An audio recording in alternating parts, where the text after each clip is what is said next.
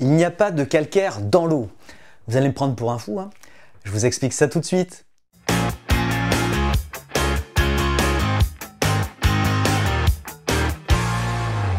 Cette vidéo va être utile à beaucoup d'entre vous qui, je le suppose, ont pas mal d'idées sur le calcaire qui ont pu être véhiculées par des grands groupes, notamment ceux qui vendent des adoucisseurs d'eau à sel et euh, qui ont fait passer un certain message qui ont fini euh, par rentrer un petit peu dans l'inconscient de chacun. Alors non, il n'y a pas de calcaire dans l'eau. Dans l'eau, il y a des minéraux et ces minéraux, principalement des ions de calcium et de magnésium, vont pouvoir se cristalliser en cristaux de calcaire. Alors soyons clairs, le calcaire n'est pas mauvais pour la santé. Nous avons besoin de minéraux. Ça fait partie euh, euh, de la nature. On a l'habitude, notre corps est habitué hein, à boire de l'eau qui contient des minéraux. A l'inverse, hein, si on boit de l'eau osmosée, j'aurai l'occasion d'en reparler, une eau dans laquelle on aurait enlevé tous ces minéraux, on aura une eau plutôt acidifiante pour le corps et ça sera plutôt mauvais pour la santé. Se débarrasser de la, totalité du calcaire dans l'eau, soyons clairs, on ne peut pas. on ne peut que diminuer euh, la présence de calcaire dans l'eau. Pour l'éliminer totalement, il faudrait une eau déminéralisée et l'eau déminéralisée, euh, voilà, c'est pas possible.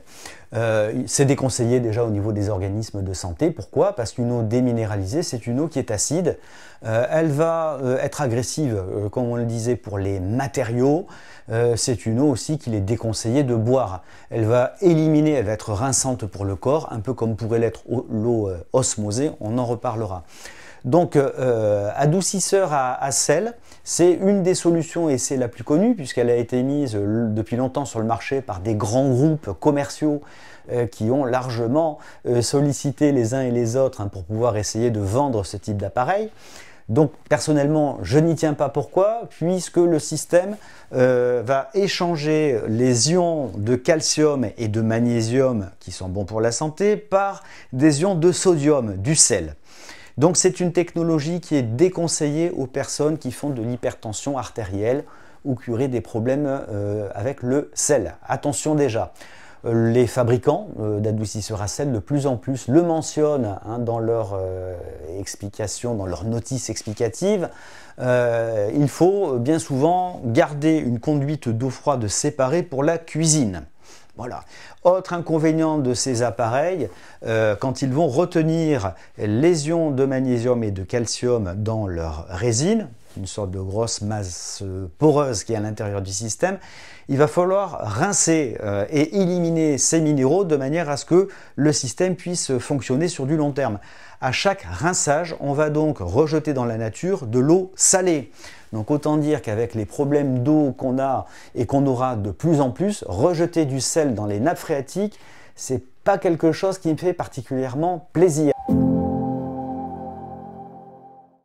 Donc ces autres solutions, ça peut être les anticalcaires magnétiques, on va avoir des anticalcaires électromagnétiques, des systèmes à induction, des systèmes comme ici qui sont très compacts, hein, euh, comme les, euh, les, systèmes à champ électrostatique. Euh, alors comment vont-ils agir? Ils ne vont pas enlever les minéraux. Et là est toute la différence et un petit peu le dilemme qu'on va avoir avec des gens qui ont pris l'habitude de mesurer le TH de l'eau. Ces appareils vont jouer sur les molécules et la façon dont les ions de calcium et de magnésium se cristallisent. Donc comme ce n'est pas mesurable, il y en a qui vont déduire que ça ne fonctionne pas. Et bien souvent, euh, comme euh, c'est quelque chose de complètement nouveau, euh, on n'en connaît pas aussi forcément les inconvénients. Alors je vais vous expliquer ça brièvement.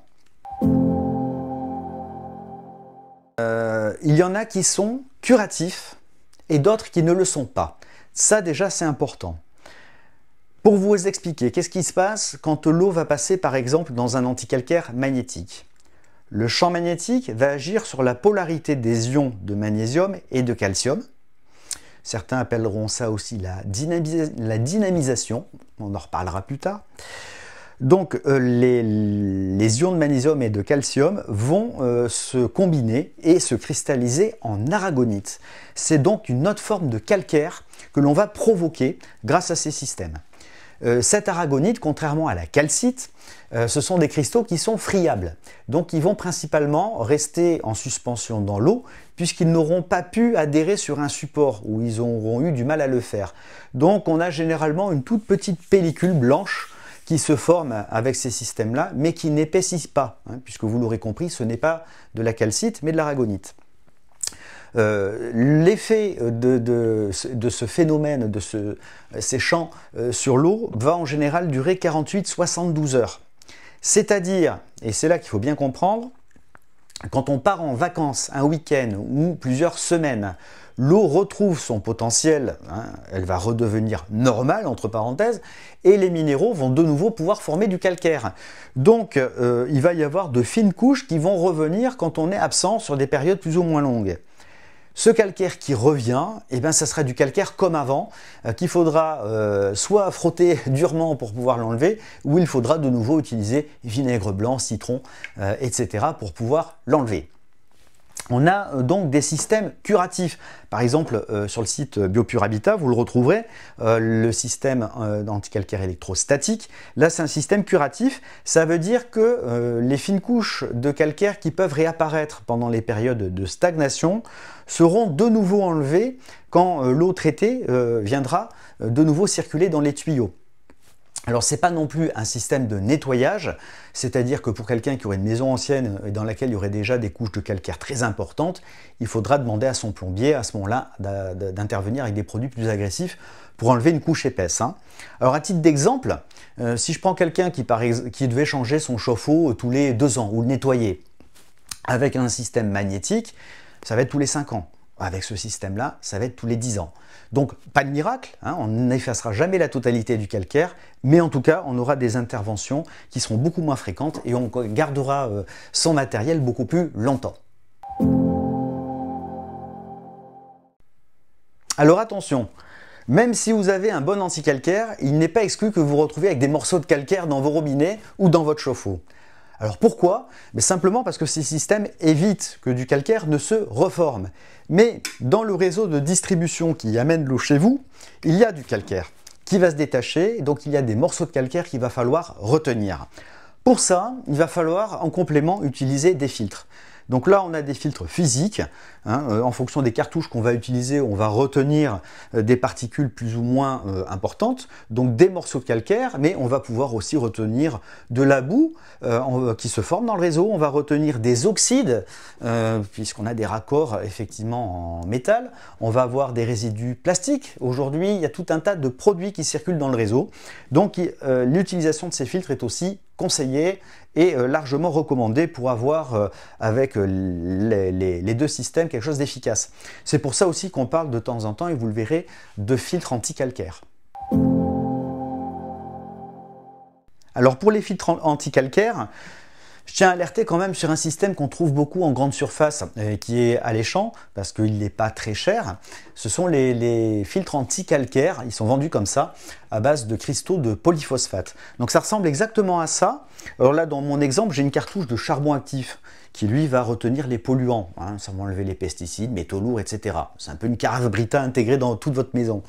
Euh, mais dans ce que vous achetez, dans les grandes surfaces de bricolage, on trouvera souvent les, cartouches de silicophosphate, cristaux de polyphosphate, cristaux. Il y a tout un tas d'appellations. Donc ça, attention, il faut savoir que ce produit est interdit en bio.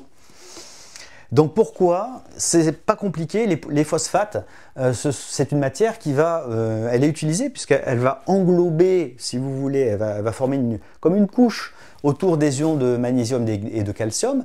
Donc elle va être efficace. Elle va effectivement empêcher qu'ils ne puissent se cristalliser entre eux. L'inconvénient, c'est que ce produit, on en mange déjà tous les jours. Euh, les phosphates sont utilisés par les industriels comme exhausteurs de goût, comme liants, euh, comme antioxydants, comme conservateurs. Donc la multiplicité en fait de prise de ces phosphates dans différents domaines eh ben, va augmenter tout simplement le taux euh, que l'on peut euh, contenir dans notre corps. Donc attention, hein, euh, les phosphates, je vous conseille d'aller voir vite fait sur internet. Pour les enfants, c'est voilà, de l'hyperactivité. Il y a tout un tas d'effets secondaires que peuvent avoir ces produits. Donc attention à ne pas rajouter de produits chimiques dans l'eau alors qu'il y a d'autres solutions, tout simplement. Alors pour en finir avec le calcaire, vous l'aurez compris, euh, même s'il n'est pas dangereux euh, pour la, santé, euh, ça peut donner un peu de goût à l'eau. Il y a d'autres produits hein, qui donnent du goût à l'eau, puisqu'on rajoute du chlore, hein, on va rajouter des sels d'aluminium, enfin il y a tout un tas de produits de traitement qui vont être utilisés par les, par les, centrales de traitement de l'eau. si vous voulez une eau de très bonne qualité et ne plus avoir d'utiliser d'eau en bouteille, pensez simplement euh, au purificateur d'eau. Vous trouverez ça sur notre site internet. On a aussi sur le blog un article qui parle des purificateurs d'eau, des osmoseurs et des carafes. Ben, je vous invite à le lire, ça, sera, euh, ça peut être sympa. Bon, j'essaie toujours de faire court mes vidéos, mais j'ai du mal. Donc en tout cas, j'espère que celle-ci vous aura été euh, utile. S'il y a des questions ou des petites choses supplémentaires qui pour vous ne sont pas claires, bah, allez jeter un œil euh, sur le site internet. Autrement, dans les commentaires sous la vidéo, bah, je me ferai une joie d'y répondre. Je vous dis encore merci pour m'avoir suivi. Essayez de partager cette vidéo, mettez-moi un petit pouce. Et puis je vous dis à bientôt. Ciao, ciao